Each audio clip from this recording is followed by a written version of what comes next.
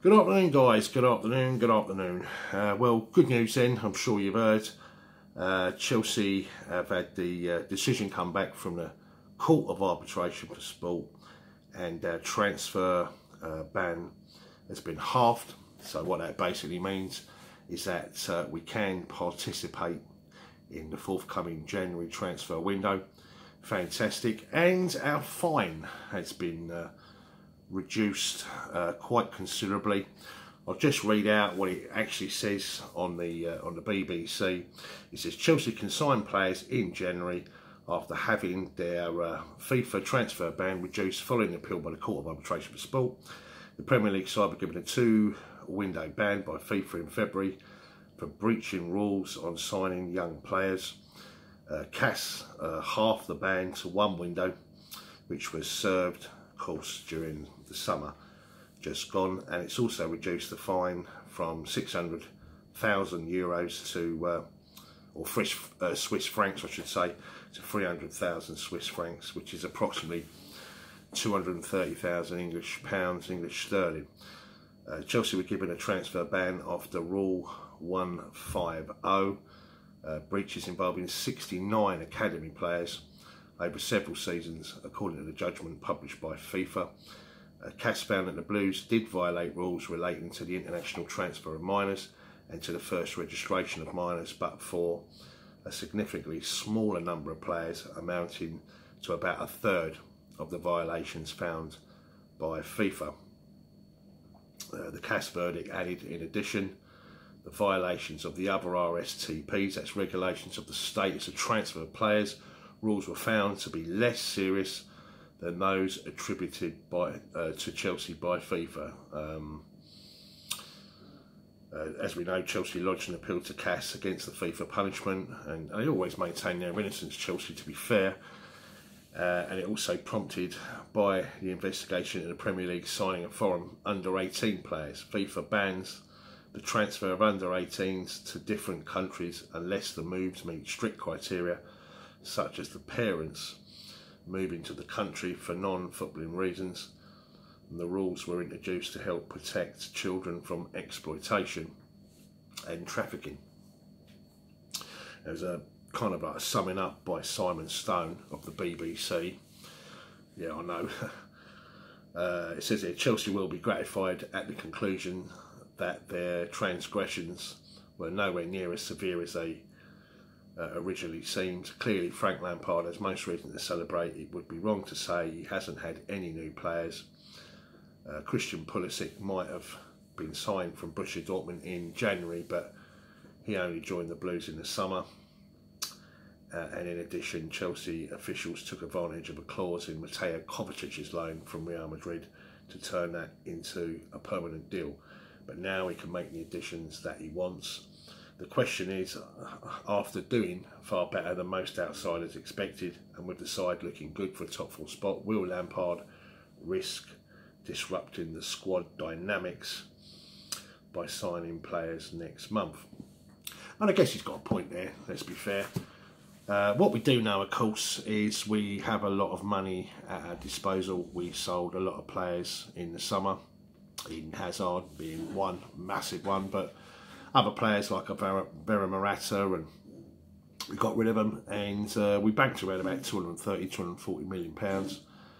Uh, I guess you could add another 50 60 million in that. So we probably got 300 million that we can spend um, but I, I, I think we will uh, buy in this particular transfer window. I just don't think we'll get the targets that we want. Let me explain. Uh, if you was to actually look at, I mean, we've got a lot of money to spend, as I say, right? But I think it's all about pinpointing those top draw quality players that make a difference to the team.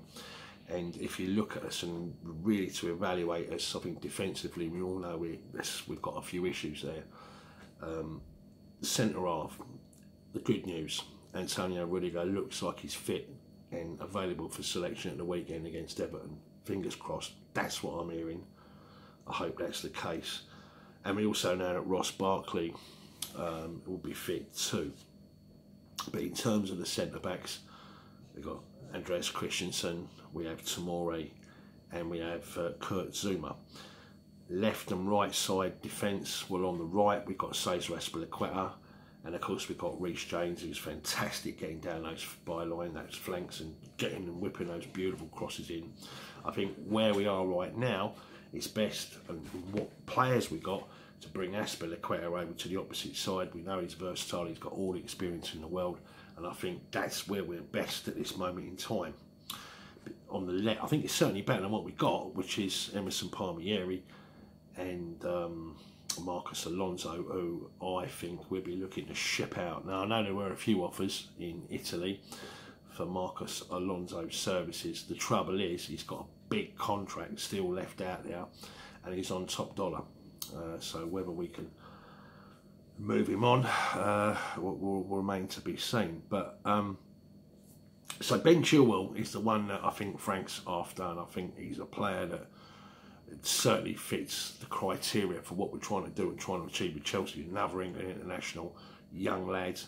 I think he's perfect. He's he's he's um, a left-sided player, so you know instead of having a right-sided player shuffle across like Aspie over to the left, which we know is good, but it's not ideal. You want primarily a left-sided player, and he certainly fits the bill. Chilwell and uh, Reece James, the opposite side with Antonio Rudiger, and one another, Tomori, Christensen. I think Tomori and Rudiger, if I'm brutally honest. but I think that's where we want to go now. Whether Brendan Rodgers would want to let someone like Chilwell go at this stage of the season, I very much doubt it. So I think, if anything, maybe we can do a deal subject to him joining this next season. I don't know, but whether we're actually getting a player and he'll come to Stamford Bridge is a completely different story. Now, in terms of holding midfield, well, we know we've got N'Golo Kante, we've got Jorginho, and we've got um, Mateo Kovacic, and we've got Ruben to return at some point in the future.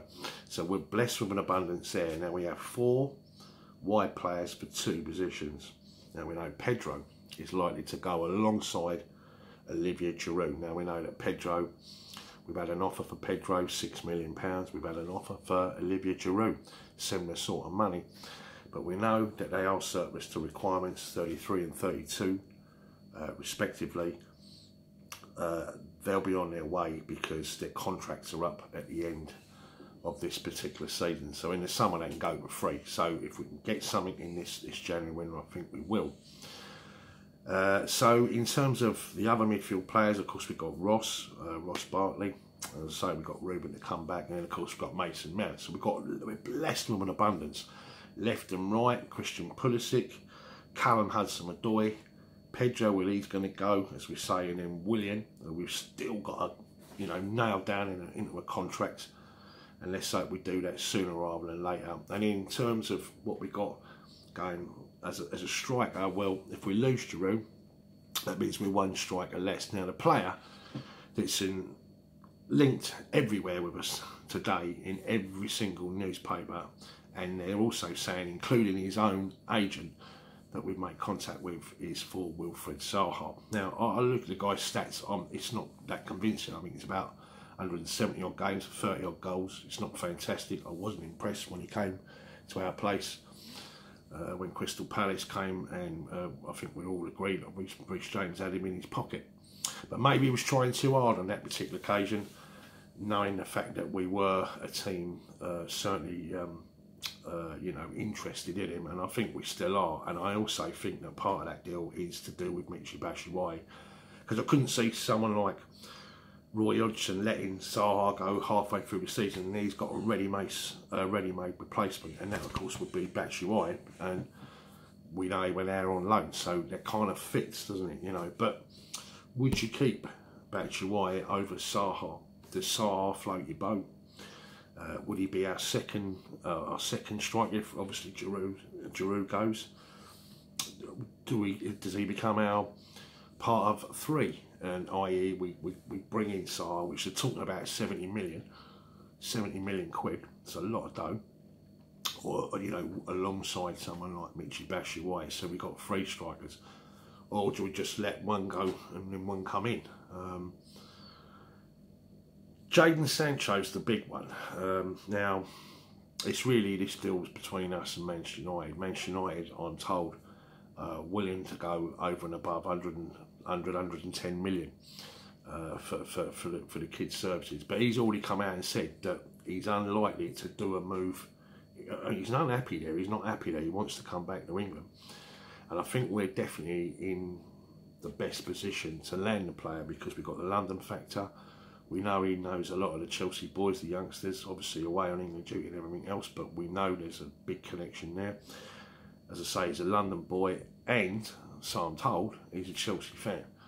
Um, uh, he named uh, two of the three his favourite players of all time, and just so happened to be Chelsea players, Didier Drogba, and of course the other one was our manager Frank Lampard. So does he fit the bill? Does he fit the project? Yeah, he does.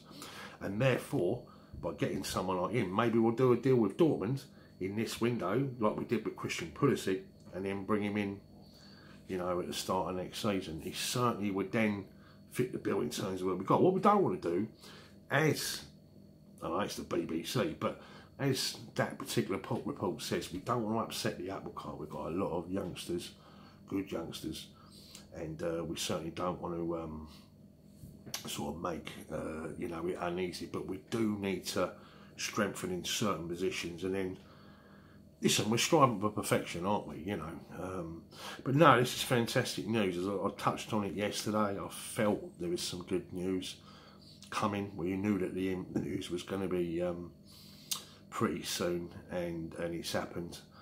Uh, our our ban is over. We've served our time.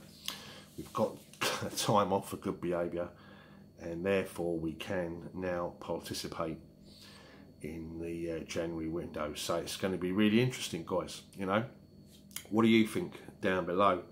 Uh, Wilfried Zaha, happy with that? Would you take him? Would you trade him in for Michy? Would you keep Michy? Would you keep Michy and then still bring Zaha in? Because you can kind of, what would you do? Um, Jadon Sancho, um, would you just look to wrap that one up sooner rather than later? I think it's fair to say we are going to spend some money in this window, but whether we get those key, key players that we really, the ones that we're really after, whether we can prize them away from them clubs at this particular stage of the season, I don't know. I, I very much doubt it, but I can see Palace letting Zaha go.